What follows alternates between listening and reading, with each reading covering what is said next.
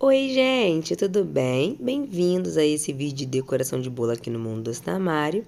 A decoração de hoje é muito especial, esse é o bolo de aniversário do meu marido. A gente resolveu fazer um bolinho, né, gente, para não passar em branco. Porque não dá para o marido da confeiteira não ter um bolinho no aniversário, né, gente? Tem que ter. Então, esse é um bolo de 15 centímetros de diâmetro por 12 de altura, massa branca e de chocolate manteiga da Mari. O recheio é de ganache de chocolate ao leite e ganache de maracujá.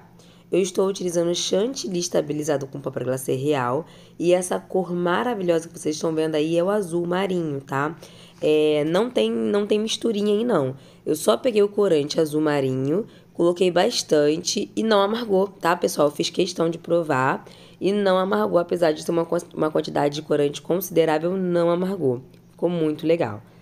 Bom, eu espero que vocês gostem desse vídeo, tá? Não se esqueçam de se inscrever aqui no canal, deixar o like e ativar o sininho de notificações para não perder nada. Eu comecei então alisando o topo. Eu não fiz pré-camada, gente, confesso. Tava com muita pressa, tava muito cansada. Eu tinha acabado de dar aula e meus alunos tinham acabado de ir embora. Aí eu corri para confeitar um bolinho para ele também, né, gente? Que ele também merece.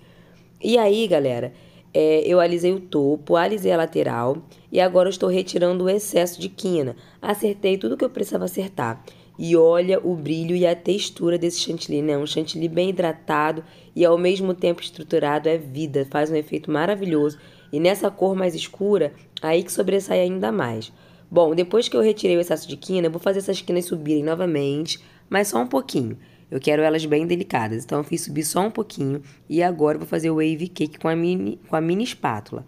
Então, espátula na minha frente e o segredo é fazer todo o movimento que é necessário fazer, mantendo a espátula sempre na minha frente, tá bom? Até chegar no final. Não sai do vídeo, o bolo ainda não tá pronto. Não sai do vídeo que no final vou mostrar para vocês esse bolo por dentro, né? Cortando aí o bolo para vocês. Olha que lindo que ficou esse wave cake. Aí não tem pó, aí não tem brilho, não tem nada. Esse brilho que vocês estão vendo aí é só mesmo do chantilly. Para finalizar o topo, vou fazer o espiral, totalmente opcional. Se você achar que não precisa, não precisa fazer, pode deixar o seu topinho liso mesmo, tá? E essa decoração é muito versátil, essa decoração do wave cake. Você pode botar um brilho, botar um pó, botar alguma coisa e fazer coisas diferentes. É um tipo de decoração que cabe aí com praticamente qualquer tipo de tema. E é muito legal também, eu gosto muito de fazer ela quando eu faço com cores diferentes também, sabe? Na lateral do bolo, eu acho que fica muito bonito. Aquela limpezinha no prato, que é essencial, não pode faltar, né? Nada de entregar o bolo com prato sujo, gente, não pode. E agora o topo, né, para trazer a identidade do nosso bolo. Eu até separei um glitter para colocar nesse bolo, tava até animada para fazer com glitter, mas tá tão bonito esse tom de azul ficou tão legal que eu preferi não colocar o glitter e deixar assim, deixar o azul reinar sozinho. Já tinha até separado, mas optei por deixar só o azul. Coloquei o topo, é um topo simples, tá?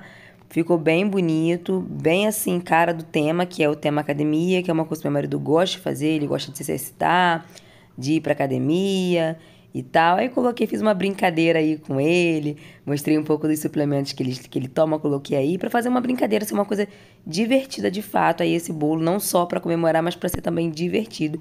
E eu achei que ficou muito bonito, mesmo não tendo colocado glitter, eu achei que esse tom de azul, o brilho desse chantilly dispensa totalmente aí qualquer outra coisa. Acho que só o topo mesmo já tá bom que é para trazer identidade. Bom, no final desse vídeo vou mostrar para vocês aí cortando esse bolo. Esse bolo foi confeitado um pouquinho congelado ainda, né? Porque ele estava congelado aqui já. E ele foi confeitado um pouquinho congelado, então vocês vão sentir aí que eu tive um pouquinho de dificuldade de cortar porque ele estava congelado, mas um pouquinho congelado no meio, sabe? Mas, gente, maravilhoso. Gente, olha só essas camadas, esse recheio, ficou delicioso. Eu espero muito que vocês tenham gostado do vídeo de hoje. Se você gostou, não se esqueça de dar um joinha, se inscrever aqui no canal se você ainda não é inscrito. Se não segue a gente no Instagram, é arroba Mundo.